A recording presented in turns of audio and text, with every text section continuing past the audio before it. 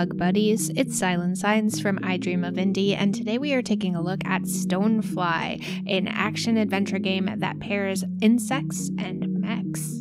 In Stonefly, you play as Annika, a young girl who may or may not be responsible for the loss of a priceless family heirloom. On the bright side, Annika just so happens to be a brilliant inventor, so using her smarts and a whole lot of stubbornness, she sets out on an adventure to get that lost mech back.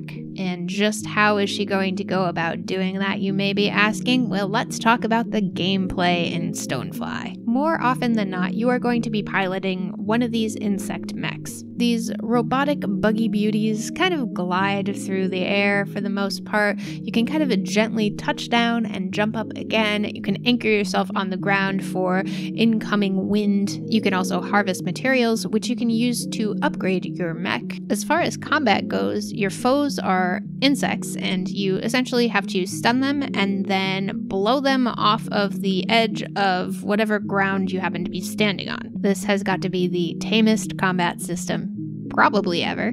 Feeling a little lost, all you have to do is summon the fireflies to point you in the right direction. And of course, what kind of game with mechs would be complete without some sort of upgrade system? You can upgrade your mech in utility as well as appearance. You can even change the colors of it to whatever you'd like. I made mine I Dream of Indie colors because gotta stay on brand. But for the most part, upgrades can be purchased using the resources that you harvest along the way, as well as some additional items that will be required, which you can purchase from shops and trading posts. That is, of course, once brilliant inventor Annika comes up with these upgrades for the mech, which she will do as you progress through the game and explore your environments. As you progress, you'll open up new locations on your overworld map, which will also indicate which resources are available within that area, which is super helpful if you're looking for specific items for upgrades.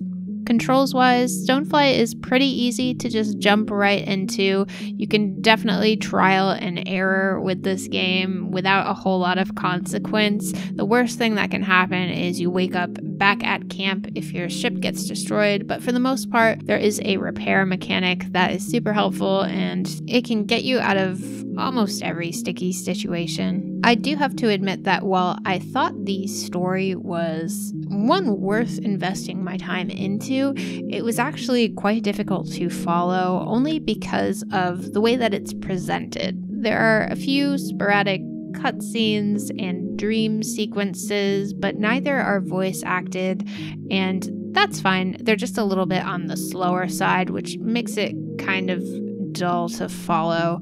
And then some more story details are presented during the actual gameplay in a little left hand corner bubble on the screen. The only problem is you're trying to pay attention to navigating through the environment, and it's difficult to read the text at the same time. Again, good story and interesting characters, just a little bit difficult to follow. As far as how I feel about the gameplay side of things, it's a little bit of a mixed bag for me. I really enjoyed the exploration of these gorgeous environments this game presents. I liked that you could upgrade your ship in all sorts of different ways, it was quite detailed. However, the combat had some technical issues. I'm trying so hard not to say bugs, but I have to say there were some bugs. Just as an example, at the end of one combat sequence, or so I thought, I had defeated all of the bugs that I could see. I thought that I was good to go, and I tried to leave, and the game wouldn't let me. And I realized that was because there was still one insect left on the screen. It was just stuck in a location that I couldn't see it and it couldn't get out of. So I ended up having to leave that area and enter it again and do the whole fight over again in order to progress. I also ran into just a little bit of trouble exploring the environments in general. First, just figuring out where to go, even with the Firefly guides. Sometimes I would find myself a little bit lost or just unable to perform the platforming effectively, I guess. And then there were a few times where I kind of just accidentally missed a jump and faded into oblivion and wasn't able to get out. I didn't die. I had to just reset.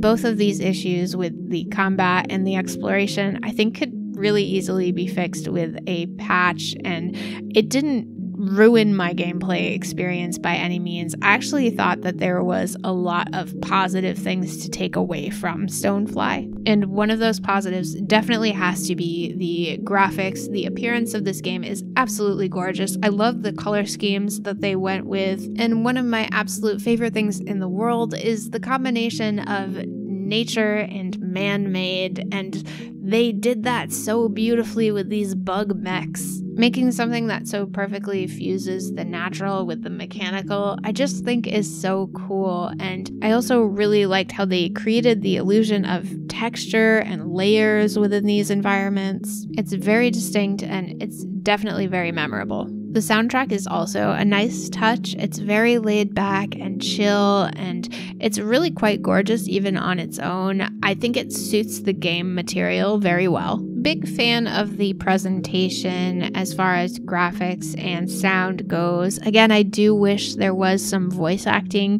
to help kind of bring the story to the forefront. But as it stands right now, the game is certainly not hard on the eyes or ears gameplay is still a little bit rough around the edges, and these are things that may be fixed with patches. But if you are not a fan of kind of chill exploration and resource collecting games in general, this is definitely not going to be one that will tickle your fancy. I, however, thought it was kind of fly.